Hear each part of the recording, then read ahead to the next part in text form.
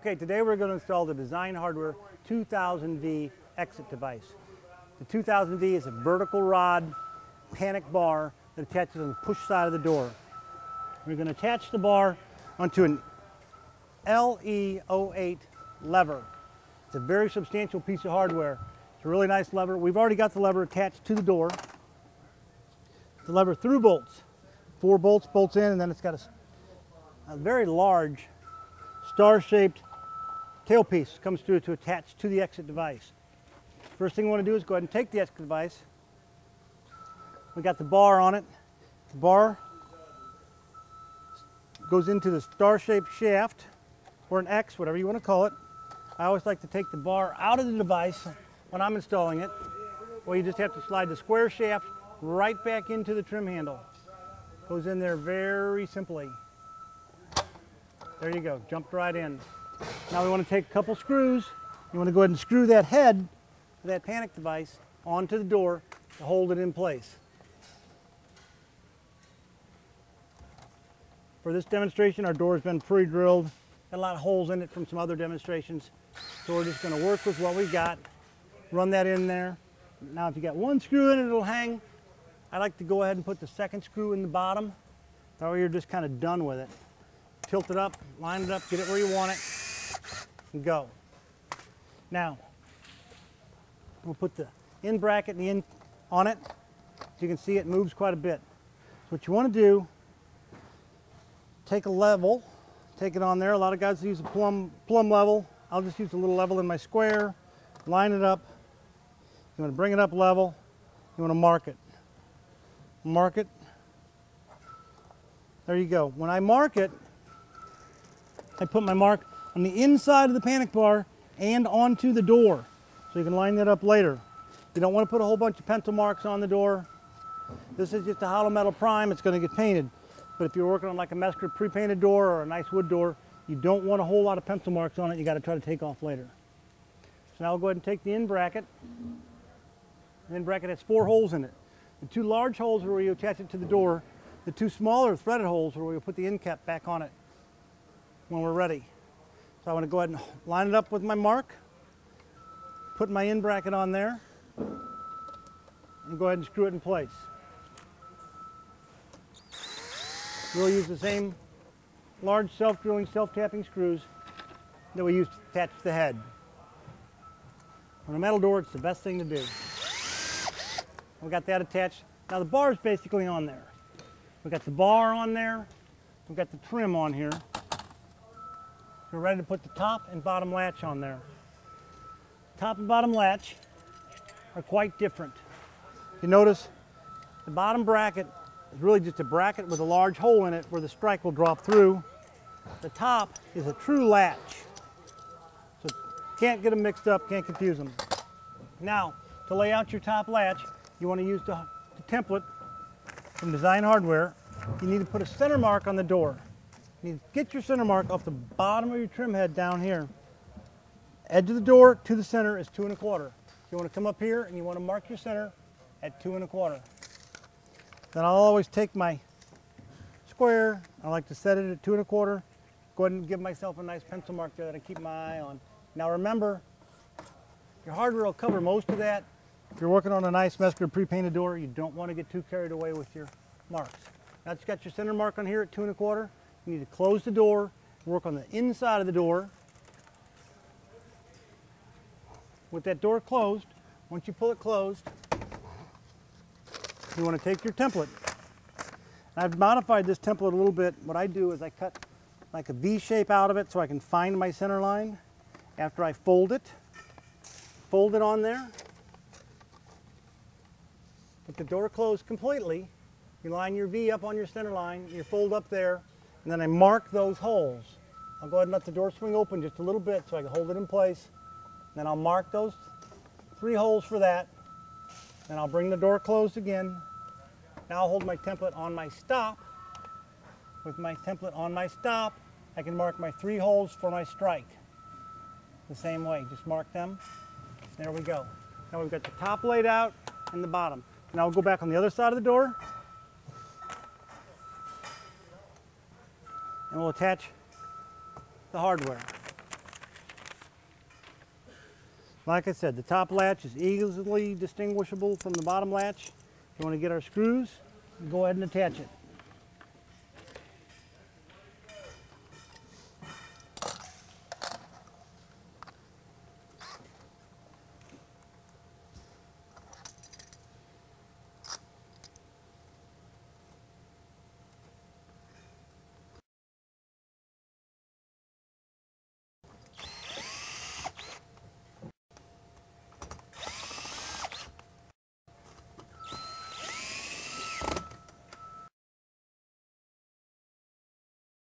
Now once you got it in place, you want to go ahead and make sure it's going to function. You don't have any screw heads in the way. You need to start testing things as you go. Make sure you haven't blocked anything up. That works fine. Now I want to put the bottom latch on. Bottom latch goes on very similar. We need to put our center mark on there at two and a quarter. So mark the door at two and a quarter. There again, this door's got a few holes in it from earlier demonstrations, but we can make it work just fine. Design Hardware gives us a nice template for the bottom latch, clearly marked for the bottom latch. Now it has a line on it for the bottom of the door. What I always like to do is take my razor knife and just cut that line off. Again, I cut a V in it to modify it a little bit so we can find that center line. I'll take that template, I'll hold it on the bottom of the door, I'll line it up on that center line and then I'll mark it. Mark those three holes. There we go. Now I always like to pre-drill those holes. Even with the self-drilling, self-tapping screws, it's just easier, especially working down low like this or when you're stretching and working up high. I'll take three screws, go ahead and attach that bracket.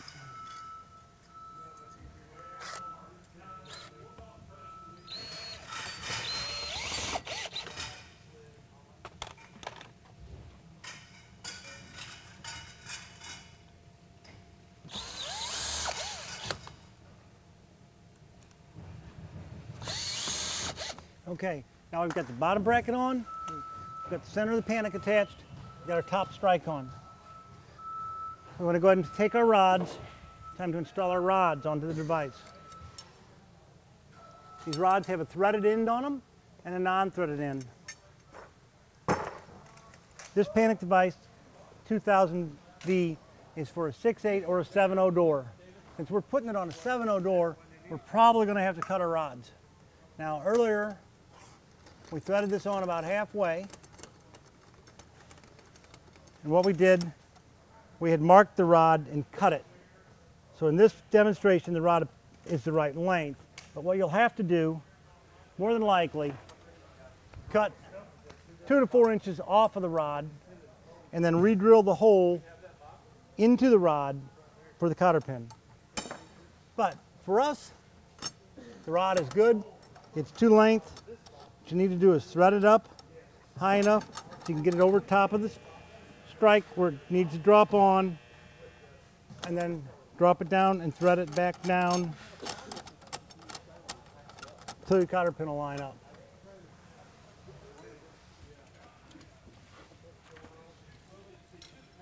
You want to go ahead and set your cotter pin in it at this time. Turn that rod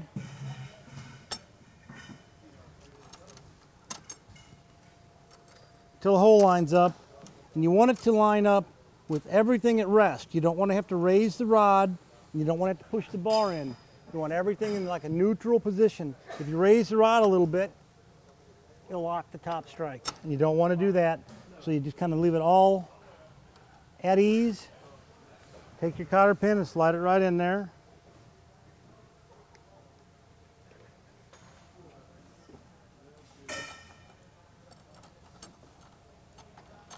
Now when I'm just starting out setting this, I don't bend the cotter pins up all the way.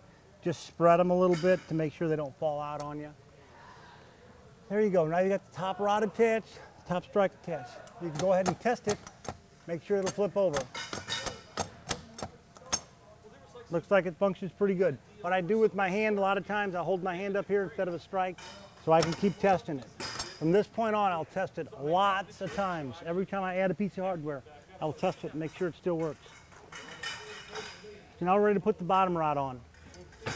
Bottom rod It's really just a threaded strike. Threads right into the rod. The round spike that drops in this hole will drop down to, to lock the bottom portion of the door. What I do is thread it on about halfway onto the threaded shaft and then you want to set the safety nut on there and you want to make sure you lock it. You don't want that to unwind. And we'll take it, drop that back in there, you want to get your cotter pin, do the same thing. You want to come up here with your rod, you want to line it up, put it in there. Now again, this rod has already been cut to length from a previous demonstration. What you want to do to find your length, you want to bring that rod up to be within about a half an inch of the bottom of the door. You would, mark it right here at this point and you would cut it. Since we've already got these cut, we'll just go ahead and proceed with putting the cotter pins in them, lining them up. There again, you want to put the cotter pin in when it's at rest. You don't want to put any torque on it. You don't want it to be open. You want the door to be in the locked position. And then we'll just take that pin, bring it up here, bend it a little bit, just to put a little pressure on it so it won't fly off on us, slide out of there.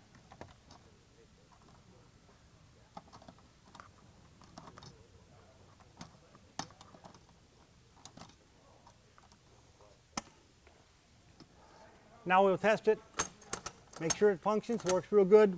We've got the top rod on, we've got the bottom rod on, we've got everything. We're ready to attach the strike onto the frame. Now remember we laid this out when we laid out the top strike on the door. So we want to get the top, get the strike out of the box. If you look at the strike, it's got three holes in it. Two large slotted holes and one hole right in the center. Now what we want to do with that, we want to take that slotted hole and that's where we want to screw it on there. Run your screw in the center of the slotted hole and into your, on your strike. That way you have a little bit of movement. Now in this case, this one is already pre-drilled. What we'd do if we were drilling it, I would drill them with a 3 16 inch drill bit. Go ahead and then run your self-tapping, self-drilling screw in there. You want to only run the two screws in into the large slots. Save the third screw for your final adjustment. Now, we want to make sure your panic is in the open position, which means the strike is down like this. We want to test it. I want to swing it in, close it, see if it latches, see if it opens. There you go. Now, it was nice and snug, it fit tight. So what we want to do is go ahead and attach our third screw in here. Point of the slotted screw holes are, if you needed to, move this in and out, see you had a lot of weather strip or something on here, and this door wasn't latching properly, you would adjust that before you put your third screw in. Your third screw locks it in so it will not slide. Now we're basically set. Got our rods on, we've got our latches on, we're ready to put our trim covers on, dress it out, and be done with it. I always like to start with the trim covers on the bottom. Keep in mind, all the small screws for the head, the trim, the head, and the end cap are all the same size. So you just want to get them, make sure you got them out, ready to go, and get started. When you put these caps on, you'll notice there's notches in them. Those notches go over the screw tabs to hold the device in place. Makes it very simple to line that up. Now I always like to put those on with a hand screwdriver just because it's just too easy to strip them otherwise.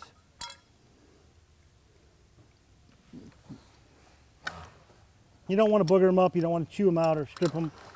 Who knows, you may be the one that has to come back and take it apart later on to adjust it. And it just looks more professional running in there. Nice and tight, but not too tight. If you do use your cordless drill, go ahead and set your clutch way back on it just run them in snug. Want to make sure you didn't bind your rod up, everything still works. Want to test it, make sure it jumps up and down, you're good. Now we're going to go ahead and put the top on. Same thing, it's got the notches in it. It will ride there pretty straight for you. Take your screws. This is the point where, like I said earlier, I'll be testing this thing a lot. Every time I put one of these end caps back on, Every time I put them in, I test it make sure you didn't bind it up. Because if you put all of them on and you go to test it and it doesn't work, you have to start taking everything off to figure out where you got it wrong. So caps on, works just fine. Now before we set this center cap on here, we want to go ahead and set our cotter pins, make sure they're out of our way. We don't want to bend them to where they'll hit a screw. You want to bend them over, curl them up nice, so they're not going to come out on you. Same on the bottom.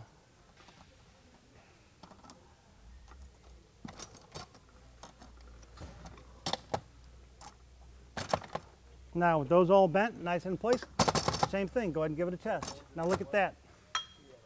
This right here, this cotter pin, starting to hit that screw head. Bound us up just a little bit. Go ahead and bend it over out of the way. Put that cap on. Same thing, I'll use a hand screwdriver to put these in.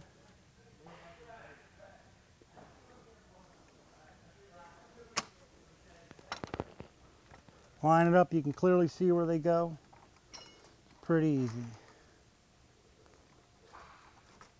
Now one of the nice things about this 2000V panic device, it comes with a filler plates for the edge of the door and for the frame. So if you're putting this panic on, say to retrofit a door for some reason, the door already had the standard lock on it, standard strike in the frame, it comes with plates to fill those up. Just helps give you a nice finished job when you're done. We'll put those on very last because they really have no function in the panic itself. They're truly decorative.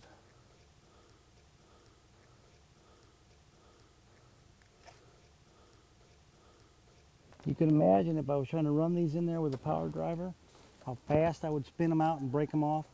You want to get them started, get them threaded in those holes. You want to make sure you get all your screws in. You want to leave any of them out. Keep track of them all. It just looks unfinished.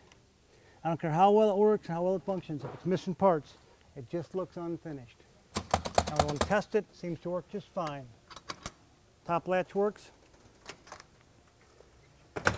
Like I said, we want to test it throughout the process. Now we're ready to put the rod guards on. I always take the rod guard and I like to install it 20 inches down from the top, 20 inches up from the bottom.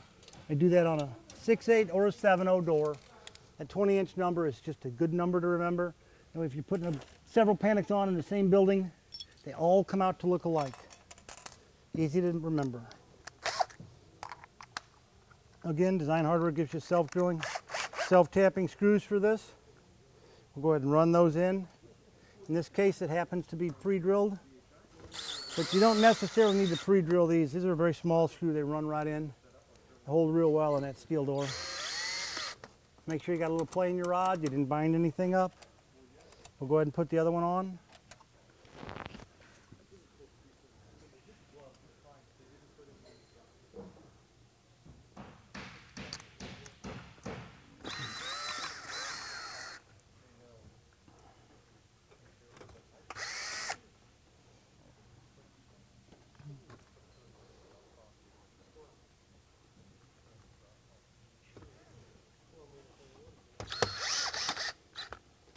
Right, make sure everything functions real well.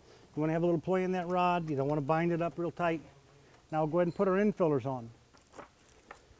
These infillers are just a nice little feature. They come with screws ready to go. Once you've got, this is the old hole where the strike bolt used to be. Filler plate fits in there real nice.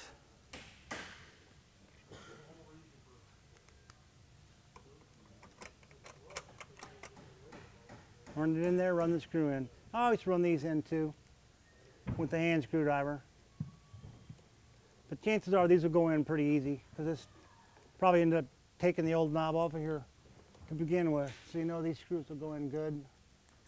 We'll put that in filler in. We've got another one to fill on the strike. Lots of times if there is an old strike there, you do want to take it out. You don't want to leave that lip strike on there. It just looks a little tacky. You have a lip strike and nothing for it to hit. Okay, now we got the edge filler on here. It just looks a lot cleaner. Now I don't know if you've got an ADA strike in here or something, you want to go ahead and take it out. They give you a nice blank filler plate, no hole, and no lip on it. Makes it universal. It'll work for right hand or left hand frame.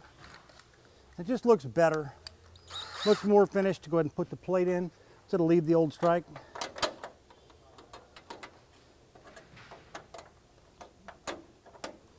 Plate in, comes with a couple screws ready to go.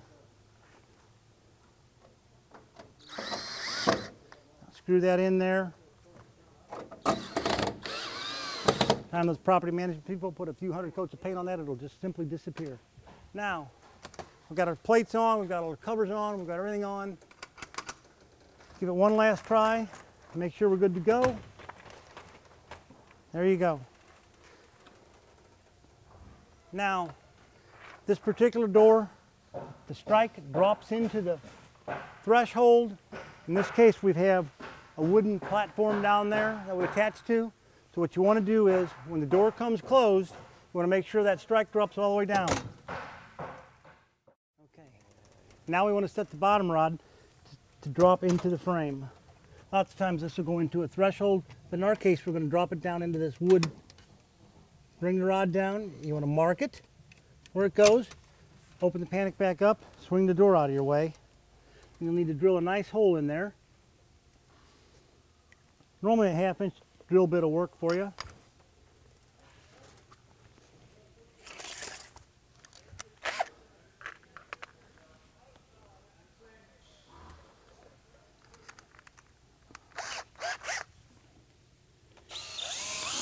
Drill that hole.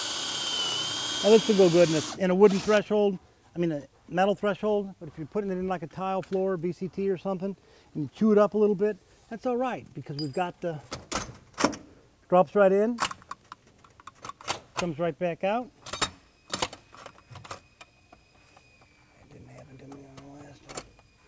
Drops right in, comes right back out. Now we've got the hole lined up. Take the round strike plate that they give us, center on the hole.